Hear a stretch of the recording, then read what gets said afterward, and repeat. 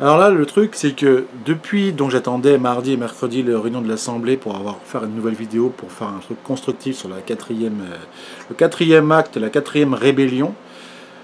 Alors, ce qui est très intéressant d'un point de vue politique, on voit les personnes, on voit les différentes parties d'opposition qui sont réellement pour le, le bas peuple, à savoir qu'on remette l'ISF, qu'on supprime différentes taxations, les réduisant, à savoir de base, pas comme aux autres explosifs vis-à-vis de l'Europe.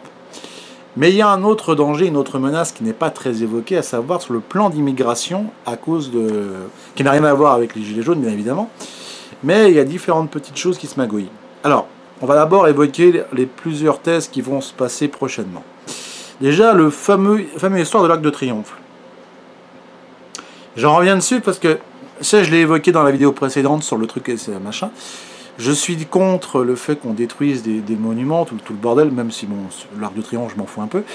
Il y a un truc quand même qui me chiffonne dans cette histoire parce que j'ai entendu des versions des personnes qui étaient début du matin du samedi euh, matin, lorsque les CRS ont chargé, visiblement, sans, euh, sans sommation, sans truc, cash. Donc il y a eu une bagarre comme c'est pas possible, toutes les actualités et l'image l'ont montré. Seulement il y a un truc que j'aimerais qu'on m'explique ceux qui ont saccagé l'arc de triomphe de l'intérieur. Moi, il m'a toujours semblé, hein, je ne suis pas euh, parisien, hein, mais euh, on n'est pas censé rentrer par, le côté souterrain de la place de l'Étoile pour y accéder, sous l'arc. On peut pas rentrer directement par l'entrée principale, c'est une souricière ce truc.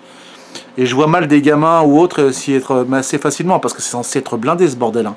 C'est comme Fort Knox.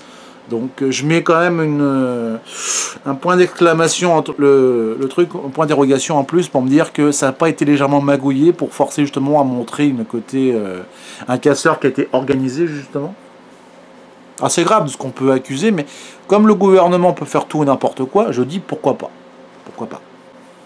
Ensuite, deuxième point très intéressant, Macron et Manu se fâchent pour un anniversaire. Le samedi dernier, eh ben, bah, apparemment le Premier ministre, c'est son anniversaire. Il n'était pas là le soir et compagnie. Macron l'a engueulé en disant Tu n'as pas réagi, tu n'étais pas là, tu n'as pas fait ce qu'il fallait, il fallait répondre en français. L'autre est marqué absent, vous me direz, c'est ça qui est comique. Hein. Mais euh, tu sens qu'il y a un foutage de gueule. Et j'ai quand même. Euh, j'ai écouté. J'en ai bouffé pendant trois heures, deux fois mardi et mercredi pour l'Assemblée nationale pour, entendre l'équipe En Marche avec le machin. Moi, il faut qu'on m'explique un truc pour les députés. Hein. Première chose. Le mec, il, euh, il, arrive, tout le monde applaudit, tu sais. Moi, j'arrive pas à comprendre. Le mec, euh, personne n'y croit dans ce qu'il dit, ce qu'il fait, dans toutes ses réformes et vous applaudissez. Moi, ça me, moi, ça me sidère. Personnellement, je, je serais l'opposition, je serais l'ensemble, je dirais gentiment, bon, excusez-nous, euh, dites-nous ce que nous, nous voulons entendre pour contenir justement le, le, fait qu'on puisse trouver une solution à l'amiable pour que les Français puissent vivre, le pouvoir d'achat, tout ça. Donc déjà, ça, j'ai pas trop apprécié. Par contre, ce que j'arrive pas à comprendre, c'est que donc l'ISF, Macron, toujours pas. Hein. Là, ça passe pas, tu vois. Euh. Ah non. Non, mes potes les riches, tu vois, ils sont d'accord. Non, non, faut pas que je la fasse. Donc pour l'instant, l'ISF, on nous prend toujours pour des poires. Troisième revendication personnelle, que ça soit mis directement sur les fiches de salaire, ça c'est clair, c'est très important, ainsi bien sûr pour les retraités qui sont une priorité, ça faut pas le, faut pas le nier. Euh, alors, petite dédicace aussi au hashtag les foulards rouges, hein, parce que la vidéo dernière vous a quand même bien mis à mal, parce que il y a plein de commentaires haineux sur ma chaîne, hein, je m'en fous, hein, je laisse. Moi, c'est pas ça qui m'a empêché de. On m'a menacé, on va disliker ta chaîne, on va te la faire, machin, qu'à ça strike et compagnie. Ouais, si tu veux. Si tu, si tu veux, mon petit. Dans ma vie, je me suis fait straquer 5 fois, donc euh, c'est un bateau, c'est un cuirassé ma chaîne YouTube. Alors avant de l'avoir, faut y aller, mon pote. Donc. Et. Euh, le truc, c'est que maintenant, ils se font harceler, soi-disant, par les gilets jaunes. Bah non, excusez-nous, c'est plutôt le contraire. Moi, vu de mon, position personnelle, vu comment vous êtes rentré chez moi dans ma vie, oui, actuellement, c'est plutôt l'inverse, hein, parce que là, vous vous déchaînez gentiment. Mais bon, voilà. Ça, c'est une petite parenthèse. Et euh, sur l'acte 4, parce qu'il y en a qui disent que, ouais, vous avez vu, ils ont annulé les taxes, machin, donc c'est bon que les gilets jaunes, calmez-vous. Euh, non, c'est que le début, hein, excuse-moi, parce que là, le vase, va falloir qu'on retire toute la flotte qu'il y a dedans. Donc ça veut dire remettre l'ISF, les taxes, à savoir de les réduire et qu'elles soient justes par rapport au salaire sur le concept. Ensuite, de fait, qu'est-ce qui serait aussi intéressant? Euh, moi, personnellement, je demanderais deux choses qui seraient déjà bien pour les, pour les Français. J'aimerais, si ça c'est possible, hein, mais après, bon, vu qu'on n'est jamais écouté, qu'au niveau des autoroutes, on ait comme le même système que chez les Suisses, à savoir qu'on paye un prix unique à l'année, genre un pass, hein, tu vois, genre à 50, 100 euros l'année, où on peut circuler tout le temps à travers le réseau euh, français sur les autoroutes. C'est le truc qui est censé nous appartenir. Parce que tu vois, 50, 100 euros sans à chaque fois en remettre, en remettre, en remettre, en remettre, je pense que tous les Français, déjà de base, achèteraient ça. Ça éviterait de repayer continuellement le péage. Moi, personnellement, le système économique suisse dans ce domaine, il n'est pas négligeable. Après, ça, c'est mon avis personnel. Euh, qu'est-ce qu'il y a d'autre aussi? Ah oui, qu'on arrête d'envoyer l'armée à droite et à gauche parce que ça nous coûte une plainte comme c'est pas possible. Et les mecs ont même pas de casque, ils ont même pas de munitions. Donc l'armée française, ils ont besoin. Les syndicats de police aussi, tu vois, ils ont dit aussi gentiment qu'ils vont peut-être euh, se mettre avec nous. Les routiers, c'est pareil. Tu vois que ton pays, il est pas bien, hein, Macron, Philippe. Hein. Bon, Castagnier, lui, a dit carrément, on va peut-être mettre l'armée. Il y a des possibilités, tu as encore des gens qui sont encore vos chiens de garde parce qu'ils n'ont pas le choix, ils ont le couteau sur la gorge, avec des véhicules blindés sur l'Arc de Triomphe, les tout ce que tu veux, des équipes mobiles. Pourquoi pas?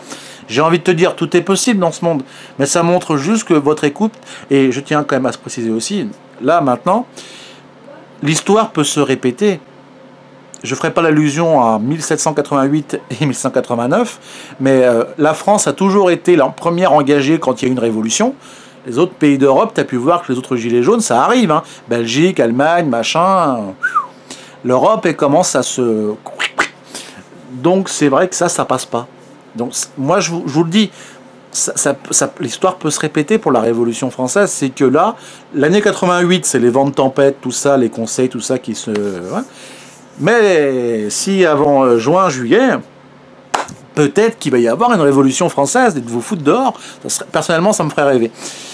Mais euh, moi, ce que je suis, c'est que je suis pacifique. Donc moi, ce que je veux, c'est que vous arrêtiez vos conneries. Ça serait, ça serait cool. Déjà que, un, si vous démissionnez, au revoir, merci.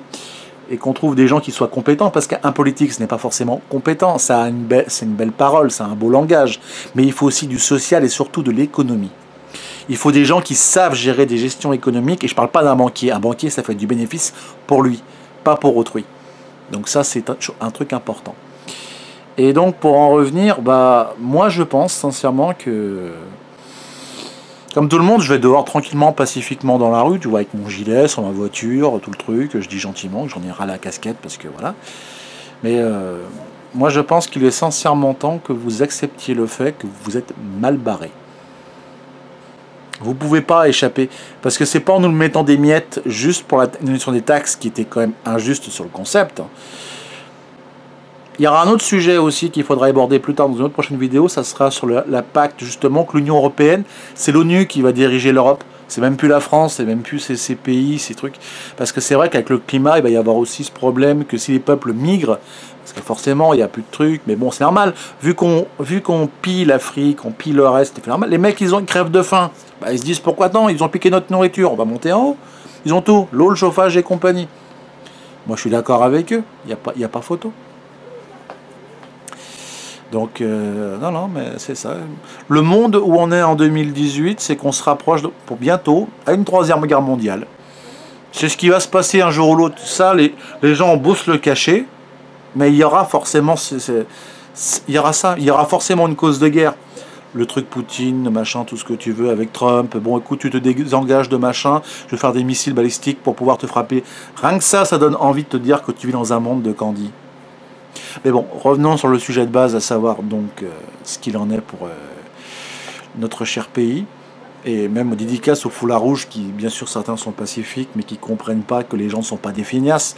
Parce que je, tiens quand même à le redire. Quand j'entends que des gens qui sont dehors dans la rue, qui manifestent parce qu'ils n'ont plus rien de quoi vivre, et que vous traitez ces gens de feignasses, qu'ils ne vivent qu'avec les allocs, mais ils ont que ça parce que malheureusement l'État ne leur permet pas de pouvoir se faire ce qu'ils veulent, c'est clair que c'est facile de casser comme ça les gens.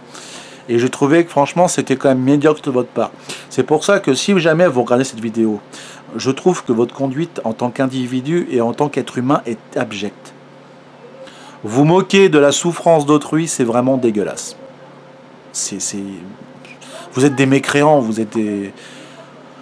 Il n'y a pas de mots pour, dire ce que vous êtes. Alors, pour la révolution de l'acte 4, malgré certains foulards rouges qui veulent se battre avec les gilets jaunes, que l'armée veut venir, Ben, il y aura peut-être une guerre civile, mais maintenant vous avez le gouvernement, il faut écouter vos concitoyens. Il vous dit gentiment, moi gentiment j'ai envie que vous donniez des choses au peuple, des libertés. La liberté c'est une chose que nous avons tous, on n'est plus autant du Moyen-Âge, on n'est plus autant du, servage, tout ça. Il faut nous rendre libres.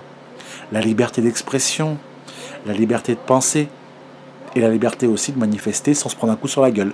Donc les gens qui sont pacifiquement, ils sont pas avec des armes et des matraques, ils sont gentils, ce sont vos peuples. Donc c'est pas la peine d'attaquer. Si vous attaquez, par contre, il va y avoir une grosse riposte. Et là, par contre, moi, à votre place, cette fois-ci, je me planquerai. Parce qu'ils ont bien l'intention de franchir le mur, si vous voyez ce que je veux dire. Allez, à samedi, parce qu'à mon avis, ça va chauffer.